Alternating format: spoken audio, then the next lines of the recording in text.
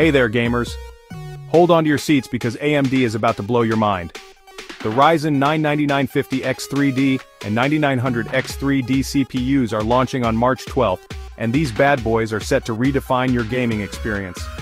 So what's the scoop on these new CPUs? Let's dive right in.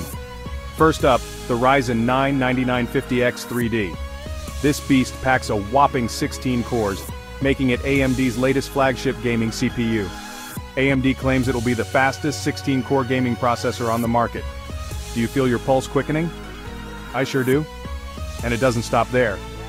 The Ryzen 9 9900X3D, with its 12 cores, is also stepping into the spotlight.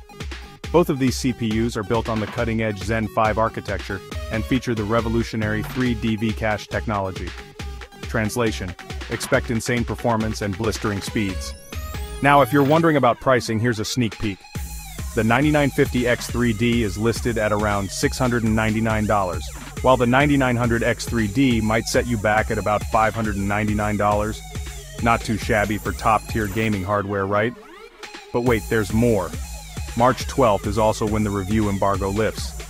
That means you'll get to see all the juicy reviews on March 11th. Mark your calendars, folks.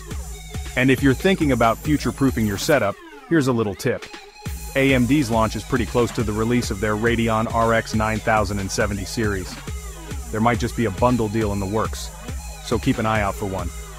Speaking of launches, remember the Ryzen 9 9800X3D from last November? It was an 8-core marvel, but it was super hard to get your hands on initially. Let's hope AMD has ramped up production this time around. Alright gamers, it's time to level up your rig with the latest from AMD. If you're as pumped as I am, Make sure to smash that like button, subscribe to stay in the loop, and ring the bell for all the latest updates. Catch you in the next video. Game on!